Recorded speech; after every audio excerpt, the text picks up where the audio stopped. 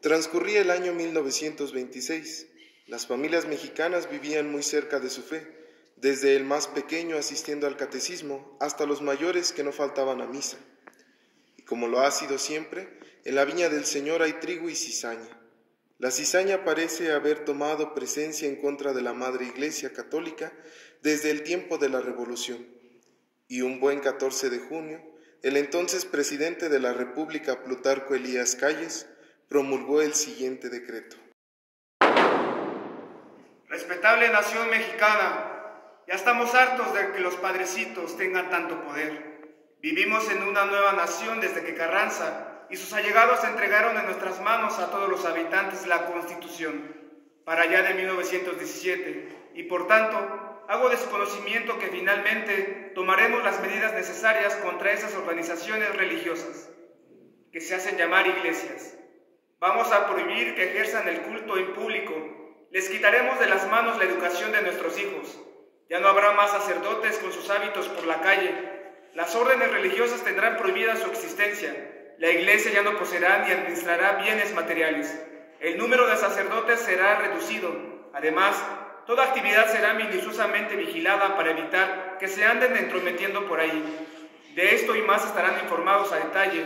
En tanto, dense por enterados de la nueva ley que entrará en vigor el 30 de junio del año en curso.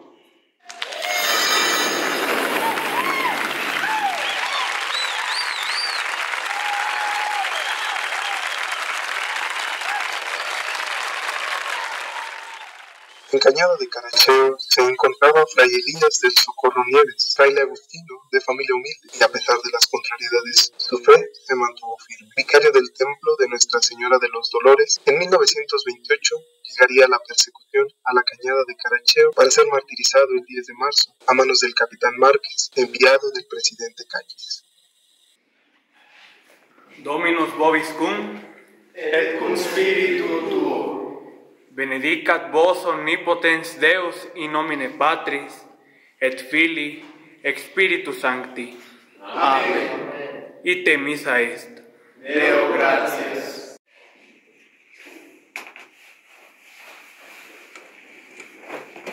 Padre, padre, ¿Qué sucede, hijo? fíjese que me acabo de enterar que el presidente Calles prohibió el culto religioso. Es mejor que se retire a la capital y cierre el templo. Despreocúpate, hijo. No hay necesidad de alejarnos del pueblo. Tampoco hay necesidad de huir. Buscaremos la forma de administrar los sacramentos a la gente de la cañada. Despreocúpate.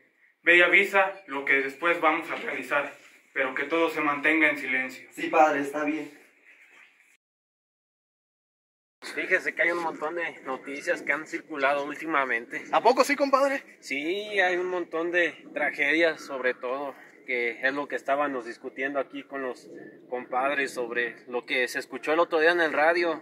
¿Qué se escuchó, compadre? No sé si escuchó el comunicado que lanzó el presidente este, ¿cómo se llama? Calles, ¿verdad? ¡Ey, Ah, el presidente Calles. ¿Qué dijo? ¿Qué? Pues Es que hay como que trae un conflicto con la religión, con la iglesia. Se está metiendo con los padrecitos. ¿A poco? ¿Sabes qué? Hay que hacer algo. Pues sí, ¿Cómo compadre. vamos a dejar que ataquen a nuestras tradiciones? ¿Ustedes qué dicen? ley? ¡Vamos, vamos, compadre, vamos, compadre! Delegado, ¿cómo se encuentra? Buenas noches. Muy bien, yo me siento como en el Gracias. ¿Cómo se encuentra? Muy bien, un poco preocupado por la situación de la persecución. Sobre eso le vengo a hablar, delegado. Tengo malas noticias. La gente nos ha impedido destruir la iglesia. ¿Qué podemos hacer al respecto? Puedes ir a buscar más ayuda, no sé. Estoy en busca de ese tal Padre Nieves. Lo quiero matar, pero no lo he encontrado. No he podido dar con él. Entonces, Haz lo que tengas que hacer. también le vengo a pedir otro favor, señor delegado. Vengo a pedirle comida. No quiero pedirle a la gente comida, porque puede ser que en una de esas me envenenen. ¿Es posible que usted me dé comida? No se preocupe, comandante. Mandaré a traer comida para que usted pueda estar seguro y tranquilo de que nada le suceda. Le agradezco de todo corazón, delegado. Verá que pronto vamos a acabar con ese tal Padre Nieves y con la Iglesia Católica. Eso espero. Por eso le tengo toda mi confianza. Señor delegado, ¿escucha usted esos gritos? Nos están queriendo declarar la guerra, pero no se preocupe. En este preciso momento voy a mandar a los policías a que lo detengan. Permítame un momento, delegado. Policías, por el honor a nuestra nación, vayan y detengan a esa persona que está gritando. Tal vez puede ser ese tal Padre Nieves, pero vayan discretos. No lleguen al momento y lo detengan, porque recuerden que la gente quiere acabar con nosotros. Sean discretos, deténganlo y si es posible, mátenlo.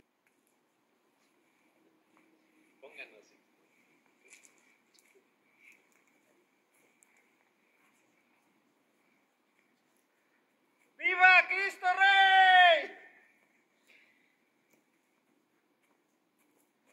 ¡Viva Cristo Rey!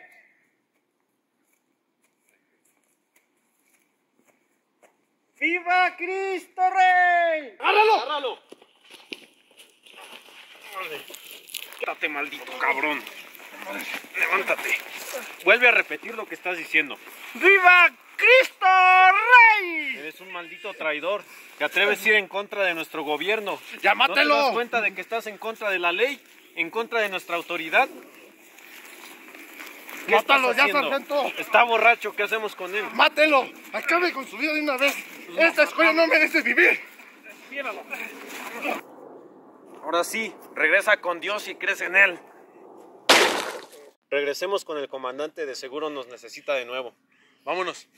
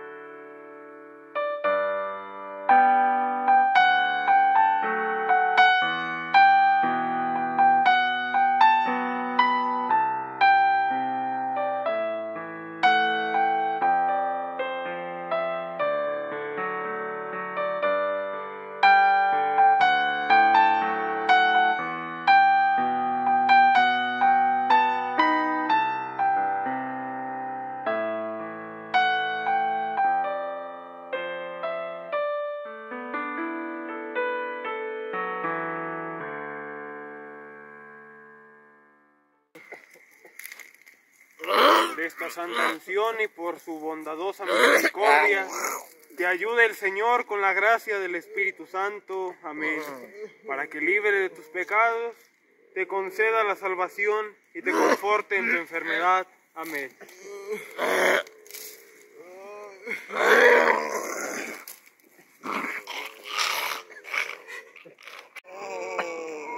Por esta santa unción y por su bondadosa misericordia, te ayude el Señor con la gracia del Espíritu Santo. Amén. Para que libre de tus pecados, te conceda la salvación y te conforte en tu enfermedad. Amén.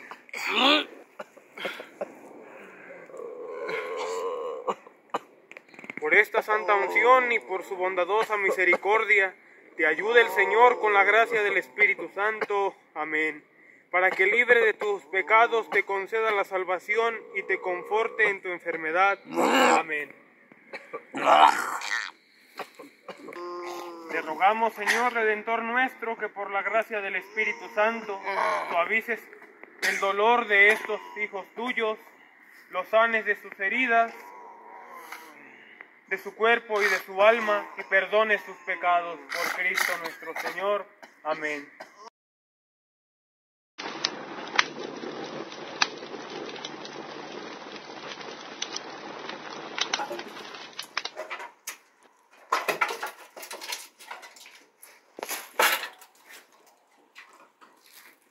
Buenas noches.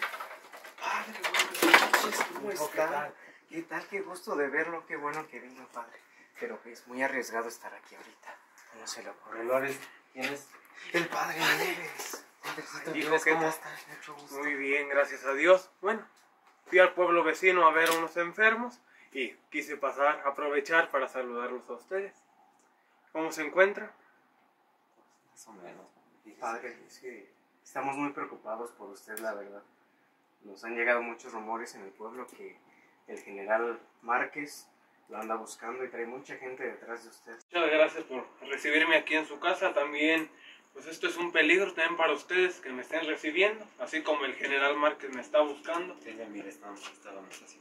Ay, muchas gracias. ¿Te sientes helado? ¿Qué tal han estado las cosas? Porque aquí nomás nos llegan los rumores y la verdad, como le dijimos, uno está muy preocupado por usted.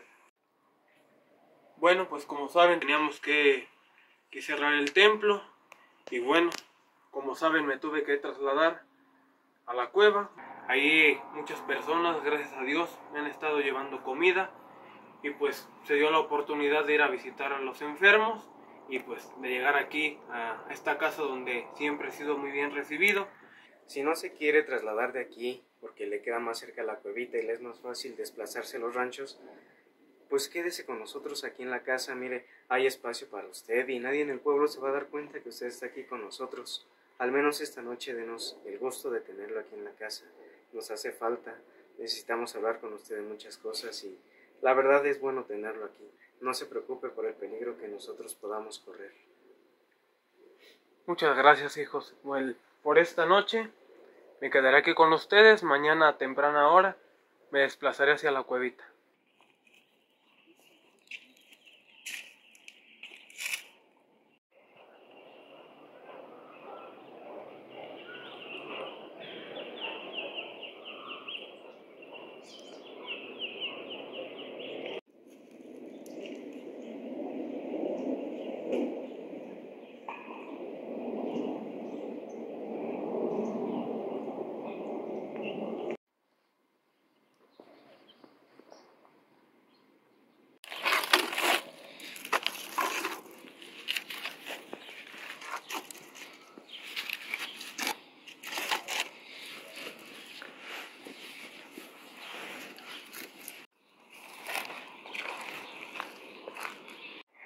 ¿Usted es sacerdote? Sí, soy sacerdote. Pues entonces ese por preso.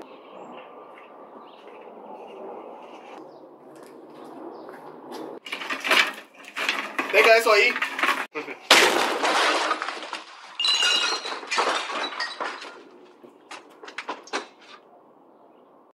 Date por perdido. Camínenle. Ándale, curita. Déjenlos en libertad. No. Es a mí a quien quieren. Ellos tienen familia.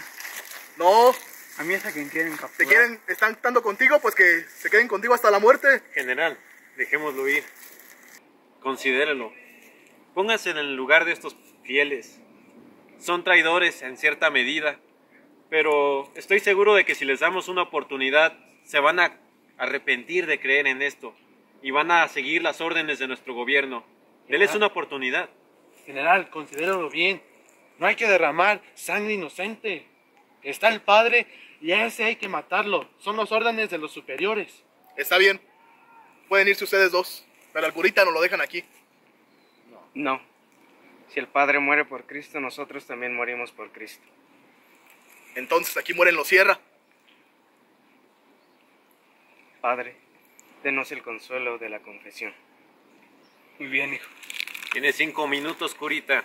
Te voy a estar vigilando, curita.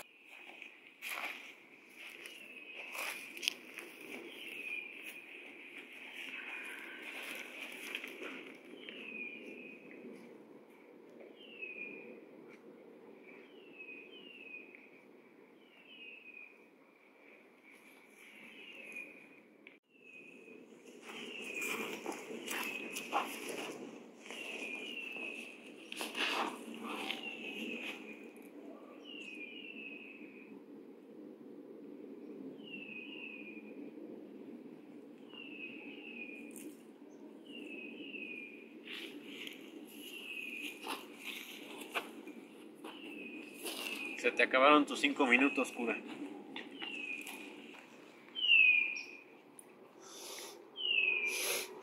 Dolores. Dolores. Cállate. ¿Este qué le pasa? Mátalo, dale unos balazos. Hasta que se muera. Ahora tú, al siguiente. Arrodíllate. No, ¿Seguro? muy seguro solo ante el Señor.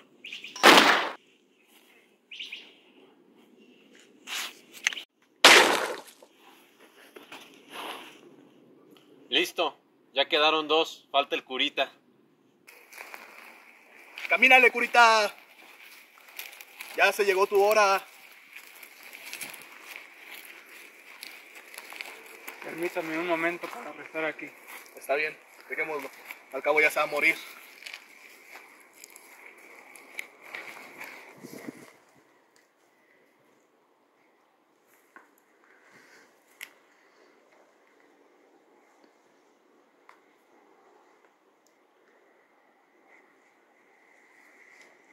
Ahora sí, curita. A ver si como morir es como decir misa. Efectivamente, sacrificarse por Cristo es como la misa. Comandante, ¿Eso qué? se lo obsequio. Ah, miren, el curita ahora me está dando regalos. Todavía que lo voy a ejecutar, pero bueno, démosle crán. Hijos, permítanme darles la bendición. ¿Cómo es posible? No, ustedes no pueden recibir eso. Traidores. Dame esto para acá.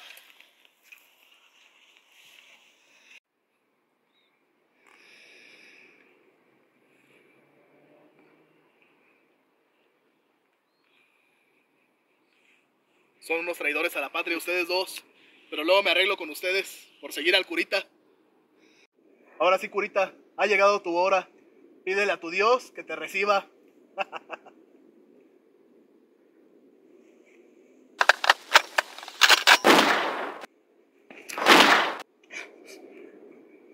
Dios te perdone. ¡Viva Cristo Rey!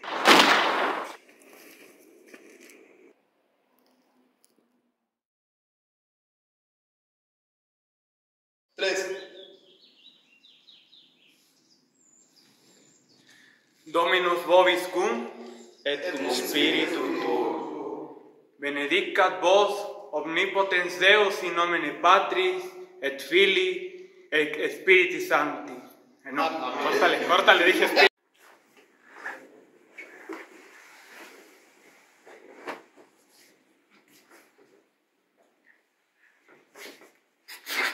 Que yo no voy a poder. Corte.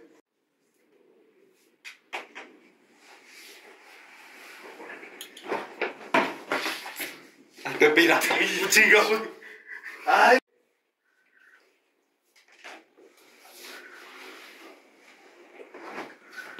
Padre, padre. ¿Qué pasa, hijo? Fíjese que me acabo de enterar que.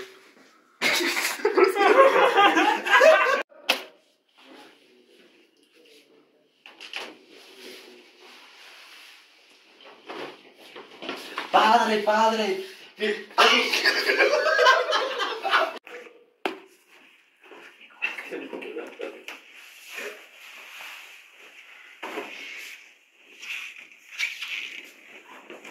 Padre, padre. ¿Qué sucede, hijo? Fíjese que me acabo de enterar que el presidente Calles prohibió que se celebre. Ah. Algo se debe. Ya, ya, ya, ya, ya es ventaja.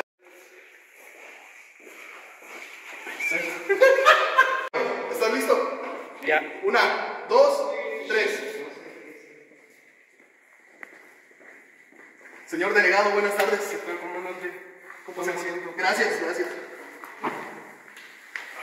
¿Cómo está, comandante? Mal, señor delegado. Han ocurrido varias cosas. Ok. Eh, ¿Cómo vas? Policías, ¿neces- necesito encargarle. No, padre, pero es que de verdad yo insisto en que se quede al menos aquí con nosotros en la casa. Si no se quiere ir a otro lugar que le podemos conseguir en el rancho de nuestros papás, ahí puede quedarse. Pues al menos esta noche acompáñenos aquí. Nadie en el pueblo se va a dar cuenta que nosotros estamos albergándolo a usted. Siempre y cuando pues estemos aquí bajito la... Pues entonces ese por preso.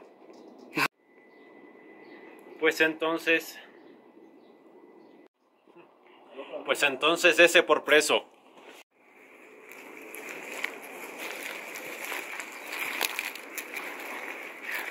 Dolores. Juan. No. Ah. Cerciórate que Cinco muerto. segundos. Dale un balazo. Ahora, el que sigue. Ni lo pienses. Ahora sí, curita. A ver si morir.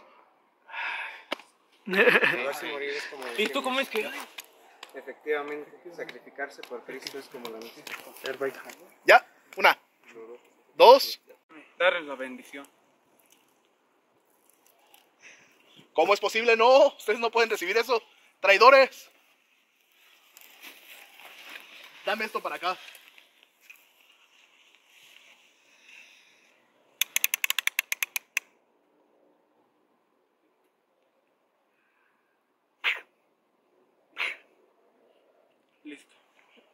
¿Qué? Todavía no los voy a matar.